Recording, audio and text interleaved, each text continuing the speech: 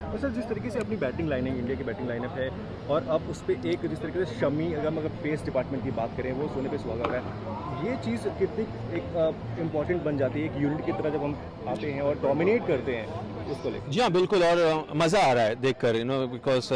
Bhuvneshwar Kumar जब तक चोटिल नहीं हुए, उनका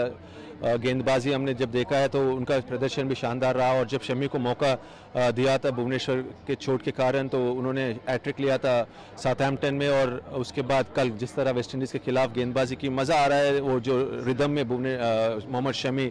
दिख रहे इस विश्व कप में और इस साल में, ऑस्ट्रेलिया के खिलाफ जब हुआ था श्रृंखला, ऑस्ट्रेलिया में जब इंडियन टीम ने जीता था मिडिल ओवर्स में आकर विकेट छटकाते हैं और फ़्लाइट और ड्रिफ्ट में बीट करते हैं बल्लेबाज को तो ये देखकर बहुत अच्छा लगा क्योंकि आपके पास चार ऐसे विकल्प है जो कभी भी विकेट दिला सकते हैं, विकेट छटका सकते हैं और हार्दिक पांड्या का, की गेंदबाजी भी बेहतर होती जा रही है। तो ताकत इंडियन टीम की हमेशा बल्लेबाजी होती थी, लेकिन फ़िलहाल इस इस विश्व कप में हमने देखा कि गेंदबाजों का प्रदर्शन लाजवाब रहा है अब तक। डोमिनेंस रहा है सर अगर हम कहें तो। अगर सर आपकी नज़र में विराट जिस तरीके से टीम को इस वर्ल्ड कप में लेकर आगे चल रहे हैं, कितने नज़दीक हम वर्ल्ड कप की ट्रॉफी तक जाते हुए दिख रहे हैं? देखिए, बहुत ज़रूरी है कि आप हर एक मैच को महत्व दें। ज़्यादा आप आगे के बारे में नहीं सोच सकते, लेकिन जिस तरह विराट कोहली ने कैप्टनसी की प्रोएक्टिव कैप्टनसी एक उदाहरण के लिए जिस तरह क्विंटन डिकॉक को सेटअप किया था, पहले मैच साउथ अफ्रीका के खिलाफ कवर्स में खुद थे और कवर से हटकर थर्ड स्लिप में आ गए थे, और वो जो खुला कवर रीजन जब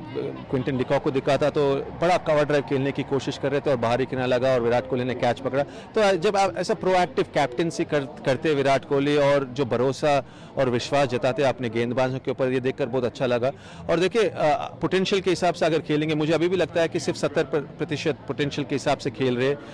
और बेहतर खेल सकते। तो सत्तर प्रतिशत पोटेंशियल से खेलने के बावजूद भी जिस तरह कन्विंसिंग विन एक के बाद एक मिल रही है टीम इंडिया को ये देखकर बहुत अच्छा लगा।